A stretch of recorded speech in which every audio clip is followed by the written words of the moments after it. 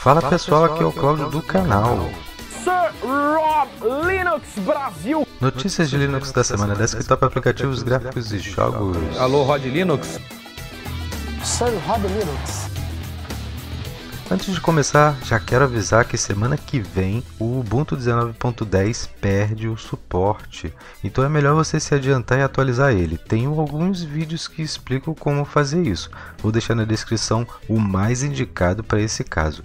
Confere lá!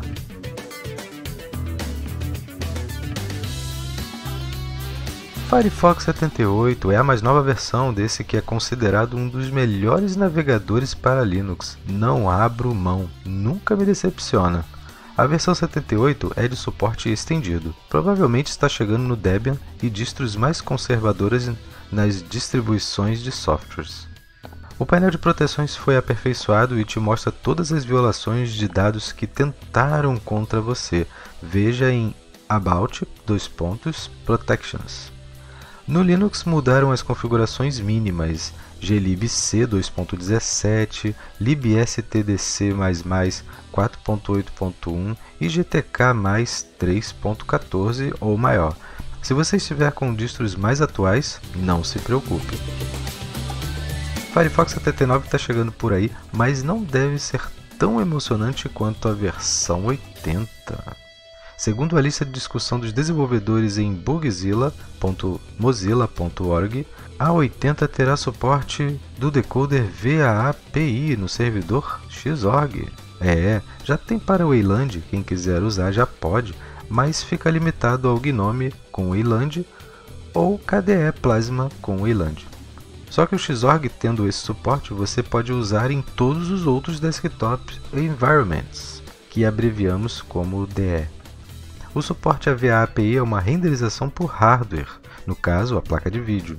Ajuda a execução de elementos gráficos, apps de navegador e até vídeos, mas esse último eles estão se redobrando para deixar perfeito.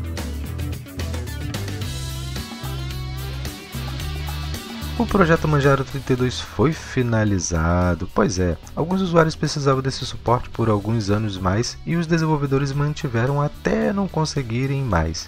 É hora de dar tchau a mais uma distro de 32 bits. Manjaro é baseado no Arch Linux e o Arch Linux já não tem mais versão 32 há algum tempo. Os desenvolvedores do Manjaro estavam se redobrando para manter, mas é complicado fazer isso. Aos amantes de coisas velhas, eu lhes digo: atualizem-se.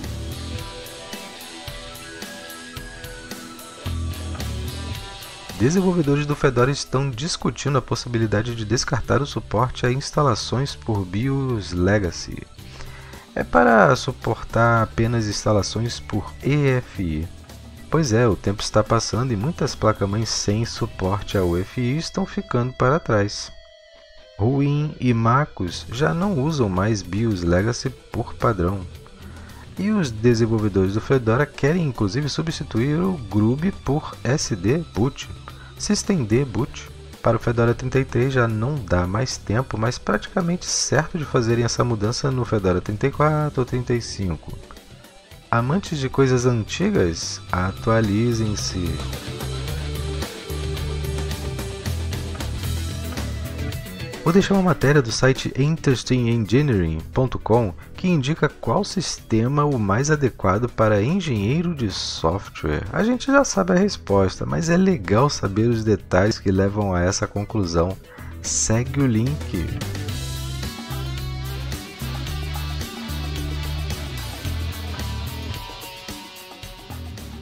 A AMD publicou firmas para placas AMD Solder Islands GCN 1.0 com suporte a UVD. E o Kiko? O Kiko agora?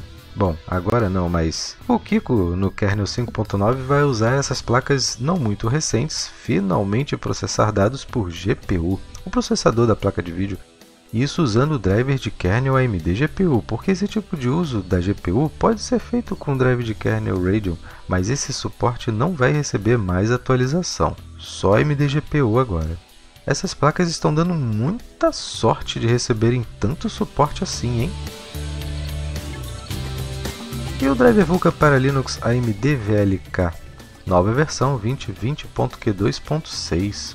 Roda nessas placas que acabei de falar, até as mais recentes da AMD. Essa nova versão adicionou o suporte à extensão VK Google User Type, que já está no Drive RADV e no NVIDIA Vulkan proprietário, para que o jogo Path of Exile seja executado. Alô? Eles não citam o jogo, mas quem acompanha Rob Linux Notícias já sabe. Mais performance em Ghost Recon Breakpoint e Zombie Army 4 Dead War. Resta saber se é em todas as plataformas ou só naquela dos exclusivos. Melhora a performance do compilador de Pipeline. A versão do Vulkan agora é a 1.2.143, bem atualizado. Testei essa semana ele. Deixa um pouco a desejar em jogos fora da Steam por DXVK, Alô? instalados com Lutris. Eu acho que o maior foco desse drive é o jogo nativo, ou com shaders pré-compilados inseridos em cache. Mas é bom ter por perto.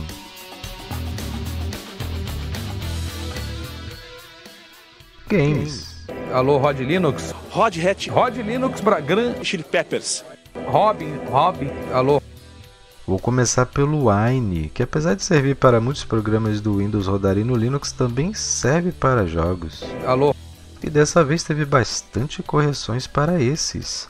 Das 48 correções e melhorias estão GTA 3, Gothic 2, o lançador Battle.net, Dirt Rally 2.0, League of Legends, Ashes of the Singularity, Star Citizen, Path of Exile, Divinity Original Sin 2.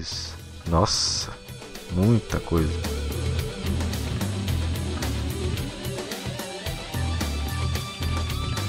Nova versão do Proton GE Custom 5.11 GE3MF. O Proton do Glorious Egg Roll e ele reabilitou várias funções para que outros jogos possam voltar a funcionar normalmente. Fake DLL e Secomp para que Doom Eternal, Detroit e Origin funcionem. Hidewine Exports para Final Fantasy XIV funcionar. O experimental suporte melhorado ao Easy Anti-Cheat não veio ainda, mas tenho fé que ele vai implantar na próxima. Tem riscos de banimento, mas a gente testa com conta reserva, né? Estou pensando em testar essa ferramenta aqui, um script chamado Proton GE Updater. Ele vai baixar a última versão disponível do Proton GE e vai colocar na pasta da Steam para você. Eu vou tentar testar rapidamente em alguma gameplay. Fique ligado na Twitch e no canal de games do Sir Rob Linux. Sabiam que o Lutris teve nova versão? 0.5.7. Se não chegou ainda, vai chegar nos repositórios de sua distro. Várias correções, mas eu achei interessante foi que resolveram um conflito que o Gallium 9 estava tendo com o DXVK. Eu não sabia disso, tentei usar o Gallium 9 nele e não funcionou, larguei de mão, mas vou testar de novo. Agora também mais performance em games que usam a API DX12 no drive RADV. Esse teste seria interessante fazer. Alô? Por falar em DX12, tá uma febre em usar essa API nos games atualmente, hein? Eu acho que tanto a Nvidia quanto a Microsoft estão trabalhando pesado nisso. No momento isso é ruim para nós gamers Linux, porque o DX12 não está funcionando bem no Linux. Muitos poucos jogos rodam e a maioria não muito bem. Mas temos alguns desenvolvedores ligados ao projeto VKD3D. Hans Christian Arntzen, Joshua Ashton, que também trabalha no DXVK, e o criador do DXVK, Philippe Rebolo, estão trabalhando bastante para tentar entregar alguma coisa ainda esse ano, mas acho que só ano que vem para termos algo mais avançado, infelizmente.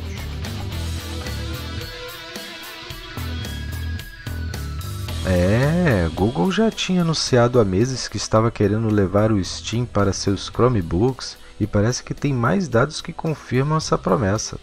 Um sistema totalmente virtualizado chamado Borealis, que é baseado no Ubuntu. Deve ser a distro que vai trabalhar para dar esse suporte e ela já virá com o Steam instalado por padrão. A descoberta foi baseada nesse dado específico.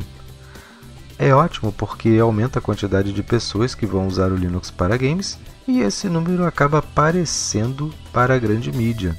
Assim, muitos desenvolvedores vão abrir os olhos de novo para o Linux. Além disso, será que teremos algum tipo de contrato da Valve com a Google em relação ao Stadia? Só o futuro dirá.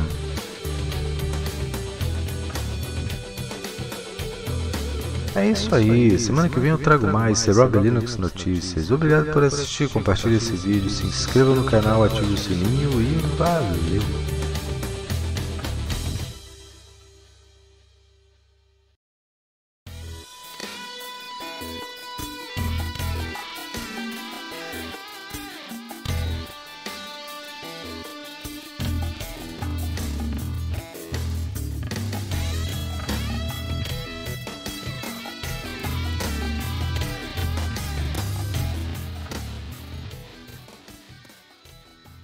Hans Christian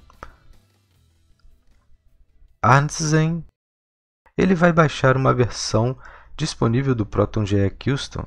Uma não, né? A última. Vou deixar uma matéria do site Interest... Int... Vou deixar uma matéria do site Interesting Engineering. Engineering. Putz.